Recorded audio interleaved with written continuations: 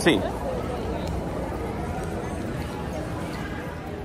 Bueno, aquí vamos de nuevo al aeropuerto de Los Ángeles. Ahorita nos mandaron para estar eh, como en esta aerolínea, hay que caminar bastante porque queda bastante retirado. Así se ve.